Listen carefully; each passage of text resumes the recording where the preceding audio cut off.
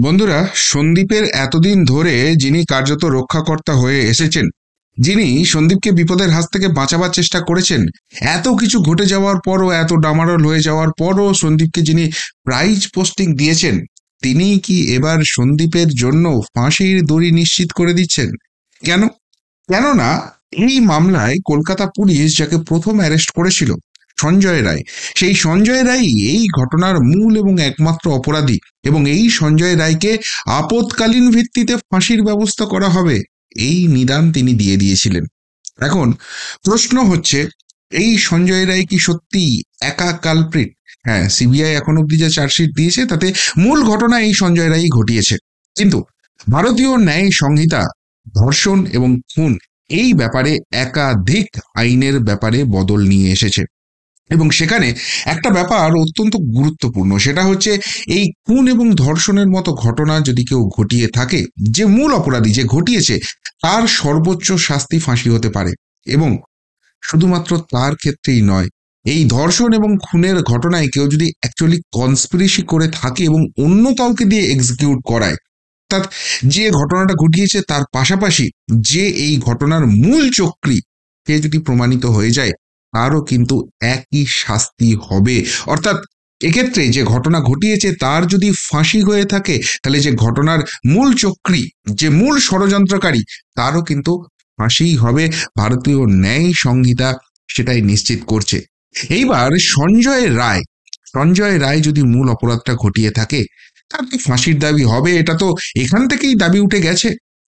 তাহলে যদি সঞ্জয় রায়কে দিয়ে কেউ এই ঘটনা ঘটিয়ে থাকে কেউ যদি মূল চক্রী হয়ে থাকে, কেউ যদি মূল ষড়যন্ত্রকারী হয়ে থাকে আরও তাহলে কি হবে? তারও তাহলে নিস্তার হবে না। সঞ্জয় রায়ের যদি ফাঁসি হয়, তাহলে সেক্ষেত্রে সেই তারও কিন্তু ফাঁসিটাই হবে। আর এক্ষেত্রে সন্দীপ ঘোষ, আরজিকর মেডিকেল কলেজের এক্স প্রিন্সিপাল সেই সন্দীপ ঘোষই কি মূল চক্রান্তকারী, মূল ষড়যন্ত্রকারী? যদি তাই হয়, তাহলে সঞ্জয় রায়ের যদি ফাঁসির ডিমান্ড হয়, এই সন্দীপ ঘোষেরও কি ফাঁসির ডিমান্ড হবে? আর সেই ফাঁসির হাত থেকে বাঁচা যদি সত্যিই দোষটা প্রমাণিত হয়, সন্দীপ ঘোষের ক্ষেত্রে কার্যত না মুমকিন হয়ে যাবে। হ্যাঁ এক সর্বভারতীয় মিডিয়ার রিপোর্ট অনুযায়ী কিন্তু ভয়ঙ্কর তথ্য হাতে এসেছে। গতকালই আপনাদের এক প্রতিবেদনে জানিয়েছিলাম যে সিবিআই কিন্তু এই তদন্ত, সেটা নিয়ে খুব খুব দ্রুত এগোচ্ছে এবং এমন একটা দিকে এগোচ্ছে, সেখানে সে যত বড় ক্ষমতাবানী হোক না কেন, যত বড় প্রভাবশালী হোক না কেন, যদি এই ঘটনার সঙ্গে জড়িত থাকে, তার বাঁচার কোনো জায়গা নেই। আপনারা যারা একটু হলেও হতাশ হয়ে পড়ছেন যে সিবিআই তো চার্জশিট দিল, যেখানে সঞ্জয় রায় কি দেখানো হয়েছে একমাত্র অপরাধী হিসেবে, সেক্ষেত্রে বাকিরা কি বেঁচে যাবে?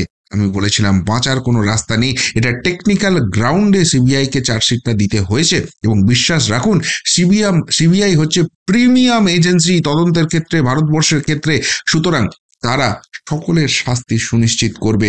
আর তাই সন্দীপ ঘোষের কীভাবে ফাঁসলো, কোন দুই ঘটনায় তাকে পুরোপুরি ফাঁসিয়ে দিল, সেই সমস্ত তথ্য তো বলবোই। কিন্তু তার থেকেও যেটা অত্যন্ত গুরুত্বপূর্ণ, মূল চক্রান্তকারী হিসেবে কি সন্দীপ এস্টাবলিশ হবে?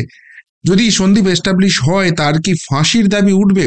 আর যখন ফাঁসির মঞ্চটা, ফাঁসির দড়িটা নিশ্চিত হয়ে যাবে, সন্দীপ কি তখনও মুখটা বন্ধ করে রাখবে? নাকি তার যারা বিগ বস রয়েছে, যাদের অনুপ্রেরণায় দিনের পর দিন এখানে দুর্নীতি ঘটিয়ে গেছে এবং সেই দুর্নীতির পর্দা ফাঁস আমাদের অভয়ের হাতে হয়ে যাওয়ার ফলেই। অভয়ের উপর এরকম নারকীয়, পাশবিক একটা কাণ্ড ঘটানো হয়েছে। সেই তাদের, সেই অনুপ্রেরণা দায়নীদের, সেই বিগ বসদের নাম সন্দীপ ফাঁস করতে শেষ পর্যন্ত বাধ্য হবে নিজেকে ওই ফাঁসির দড়ি থেকে মুক্ত করতে। সেই সম্ভাবনাও কিন্তু উজ্জ্বল হয়ে উঠছে। নমস্কার, প্রিয় বন্ধু মিডিয়ায় আপনাদের স্বাগত এবং আপনারা দেখছেন প্রিয় বন্ধু বাংলা সত্যের সন্ধানে সর্বদা। আমি শুদ্ধশীল। বন্ধুরা সিবিআই তদন্তে গতকালই আপনাদের জানিয়েছিলাম যে ফরেন্সিক রিপোর্ট সেটা কিন্তু এসে পৌঁছেছে। আপনারা জানেন যে প্রাথমিকভাবে সঞ্জয় রায় মূল অভিযোগ অভিযুক্ত এরকম জায়গায় এস্টাবলিশ হওয়ার পাশাপাশি সিবিআই কিন্তু একটা অত্যন্ত গুরুত্বপূর্ণ জায়গা খুঁজে পেয়েছিল, সেটা হচ্ছে এই ধর্ষণ এবং খুনের মামলা। আসলে একটা বৃহত্তর ষড়যন্ত্রের জায়গা এবং সেখানে খুনটাই মূল উদ্দেশ্য ছিল সেই মোটিভটাকে যাতে কেউ না ধরতে পারে, সেটাকে যাতে সাজানো ঘটনা করা যায়, সেই জন্যই ধর্ষণটাকে ইন্ট্রোডিউস করা হয়েছে এবং সেটা করার জন্যই সঞ্জয় রায়ের ইন্ট্রোডাকশন হয়েছিল। এই জায়গা থেকে প্রাথমিক যে তথ্য প্রমাণ পেয়েছে, তার বেশি সে চার্জশিট দেওয়ার মতো সিবিআই জায়গায় এখনও আসেনি। এবং সেই জন্যই সন্দীপ এবং টালা থানার ওসি অভিজিৎ মন্ডল তাদের ফোনগুলো বাজেয়াপ্ত করা অত্যন্ত জরুরি ছিল। সেই ফোন বাজেয়াপ্ত করা হয়েছিল এবং সেগুলো ফরেন্সিক টেস্টের জন্য পাঠানো হয়েছিল। সেই ফরেন্সিক টেস্টের রিপোর্ট তাদের হাতে এসে পৌঁছেছে এবং সেখানে বেশ কিছু গুরুত্বপূর্ণ ফোন কল এবং ভিডিও যেগুলো ডিলিট করে ফেলা হয়েছিল, যার মধ্যে ঘটনাস্থলের ভিডিও রয়েছে, সেই খবর কিন্তু গতকালই আপনাদের দিয়েছিলাম। আজকে যে মারাত্মক খবরটা এলো, সেটা কিন্তু চমকে দেওয়ার মতো ওই যে ফোন কল সেই ফোন কলগুলোর ডিটেলস কিন্তু সামনে চলে এসছে। কি সেই ফোন কল সেই ফোন কলগুলো থেকে যে সম্বন্ধে যেটা জানা যাচ্ছে, আটই আগস্ট, অর্থাৎ ঘটনার আগের দিন দুপুর থেকে, মধ্য দুপুর থেকে নয়ই আগস্ট অব্দি এই সন্দীপ ঘোষ এবং তার দুজন সাগরেদ, যাদেরকে বলা হচ্ছে ওই চেস্ট মেডিসিন ডিপার্টমেন্টের জুনিয়র তাদের সঙ্গে বারবার, দফায় দফায় নিজের ফোন থেকে আলোচনা করতে দেখা গেছে। আবারও এগুলো খুব সম্ভবত হোয়াটসঅ্যাপ কল ছিল এবং তারপর কল লগ ডিলিট করে দেওয়া হয়েছিল, যে জন্য প্রাথমিকভাবে এই তথ্য প্রমাণ হাতে আসেনি। কিন্তু ফরেন্সিক ল্যাবের টেস্টে সেগুলো সমস্ত কিছু সামনে চলে এসেছে এবং এই তিরিশ বার যে ফোন কল করা হয়েছে, কখনো এই জুনিয়র ডাক্তারদের, অর্থাৎ আমি যদি জুনিয়র ওয়ান এবং জুনিয়র টু বলি, তাদের সঙ্গে ওয়ান টু ওয়ান সন্দীপের কথা হয়েছে। কখনো কখনো তিনজনে মিলে কন কল হয়েছে। অর্থাৎ এই আট তারিখ দুপুর থেকে, মধ্য দুপুর থেকে ন তারিখ অবধি এই তিনজনের যে এতবার কথাবার্তা হয়েছে, সেটা কি নিয়ে? এর আগে কিন্তু এই তিনজনের এত ঘন ঘন ফোনালাপ, অন্তত তার আগের কয়েক মাসে পাওয়া যাচ্ছে না। বিচ্ছিন্নভাবে কথা হয়েছে, বেশ কয়েকবার কথা হয়েছে। কিন্তু এই রকম ঘন ঘন এত ওই ঘটনার দিনের আগে পরের যে সময়টা, সেই সময়টাই হয়েছে যেটা কিন্তু অত্যন্ত গুরুত্বপূর্ণ। এবং তার থেকেও বড় কথা, এই কনকলগুলো বা এই ওয়ান টু ওয়ান কলগুলো হওয়ার পর অভিজিৎ পালা থানার যে ওসি অভিজিৎ মন্ডল এবং সন্দীপের মধ্যে কথোপকথন, তার রেকর্ডও কিন্তু সিবিআই এর হাতে চলে এসেছে। অর্থাৎ এদের সঙ্গে কথা বলে সন্দীপ কি ঘটনাস্থলের সমস্ত ইনফরমেশন পাচ্ছিল? এবং তারপর অভিজিতের সঙ্গে কথা বলছিল, যেখান থেকে প্ল্যানটা করা হচ্ছিল যে কীভাবে তথ্য প্রমাণ লোপাট করা হবে, কারা কারা সেখানে উপস্থিত আছে, কীভাবে জিনিসটা সাজানো হচ্ছে, তার সমস্ত কিছু হচ্ছে। এবং এই ঘটনায় যখন সিবিআই প্রাথমিক সদ প্রাথমিকভাবে সন্দেহ হয় তখন কিন্তু ওই দুই জুনিয়র ডাক্তার এদেরকে কিন্তু সিবিআই নিজেদের জায়গায় ডেকেছিল এবং সন্দীপের সঙ্গে মুখোমুখি বসিয়ে তাদেরকে জেরা করা হয়। সেখান থেকেও অত্যন্ত অত্যন্ত গুরুত্বপূর্ণ তথ্য উঠে এসেছে যেটা অবশ্যই তদন্তের খাতিরে সিবিআই এখনও সামনে নিয়ে আসছেন এবার আপনাদের মনে প্রশ্ন জাগবে যে ওই দুই জুনিয়র ডাক্তারকে, এই দুই জুনিয়র ডাক্তারের নাম অবশ্যই সিবিআই অফিসিয়ালি সামনে আসছে না, তদন্ত ব্যাহত হবে। কিন্তু যেটুকুনি সূত্র মারফত খবর পাওয়া যাচ্ছে, মারাত্মক দুই নাম। যে দুই নাম যেদিনকে সামনে আসবে, যেদিনকে গ্রেপ্তারির মতো ঘটনা ঘটবে, কেননা খুন এবং ধর্ষণ এর ষড়যন্ত্র এই জায়গায় সেই দুজনকেও নাকি সিবিআই বুক করতে চলেছে, সেই দিন কিন্তু রাজ্য রাজনীতিতে কার্যত ভূমিকম্প হতে পারে। এমন দুই গুরুত্বপূর্ণ নাম সেখানে রয়েছে। সব থেকে মজার কথা, খুন ধর্ষণের জন্য ষড়যন্ত্র সেখানে সন্দীপ। অভিজিৎ, তার পাশাপাশি ওই দুই জুনিয়র ডাক্তার কীভাবে জড়িয়ে যাচ্ছে? এটা খুব মজার এবং ইন্টারেস্টিং তথ্য কিন্তু সিবিআই এক্ষেত্রে সামনে নিয়ে আসছে। সেই তথ্যটা কি? সেটা হচ্ছে যে সাতই আগস্ট সাতই আগস্ট এই আরজি করের জুনিয়র ডাক্তারদের যে ডিউটি রোস্টার ছিল, সেই ডিউটি রোস্টারটাকে হঠাৎ করে চেঞ্জ করা হয়। তাতে কি হয়ে গেল? তাতে হয়ে গেল এইটাই যে আট তারিখ ওই দুই সংশ্লিষ্ট জুনিয়র চেস্ট মেডিটেশনের ডাক্তার, তাদের কিন্তু আট তারিখ ডিউটি ছিল না। সন্দীপ ঘোষ দায়িত্ব নিয়ে রোস্টার চেঞ্জ করে এবং সেই দুজনের নাম ঢোকায়। আপনাদের মনে হচ্ছে নিতান্তই কাকতলীয়? এটার সঙ্গে মূল ঘটনার কীভাবে যোগ হবে? এই ডিউটি রোস্টার গত মার্চ মাস থেকে অগস্ট মাস অব্দি টানা সিবিআই আধিকারিকরা চেক করেছে।